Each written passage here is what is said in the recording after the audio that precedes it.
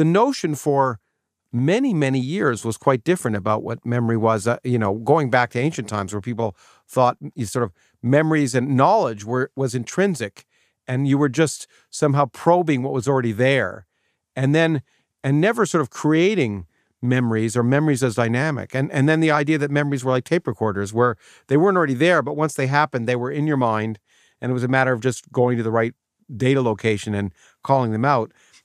And and what you began to show and have showed of course abundantly since then is that that's not the case at all that that memories are not static and and and maybe didn't weren't even there in the first place well, yes. I mean, and that tape recorder, video recorder, you know, model of memory is still sadly uh, widely embraced by la- some lay people. Yeah, I think uh, most people still think memories. You work hard, you get the memory, and and that's it. And if it's there, if it's a memory, it must have been. It must have happened.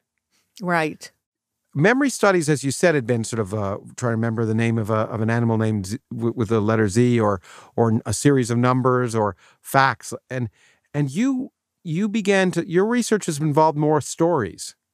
Right. What, why do you think you, you were thinking stories versus facts in that sense? What, what what influenced you to think in those terms? Is it because you were so interested in the way people really work in the real world of, of, trying to remember their own stories, or what what what caused you to go in that direction? Uh, well, I, I I think I know actually. Good. I, okay. You think you know? No one told yeah, you this. No, I, okay. I think I actually know. Okay. Uh, so there I was, you know, thinking to myself after that conversation with my lawyer cousin, mm, yeah. where um, I, I thought I want to do something that has some practical applicability, something that's more socially relevant.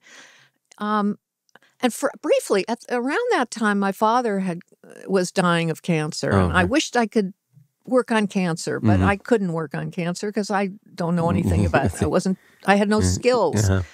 Um, so, but what could I work on that I could be excited about?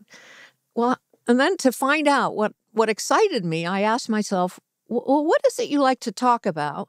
When you're, let's say, at a party, a dinner party or something, and you can talk about whatever you want, um, what do you talk about? And I found myself often talking about legal situations, legal cases. So this made me think, ah. okay, I want to like maybe combine memory with with legal cases. Well, how about eyewitness memory?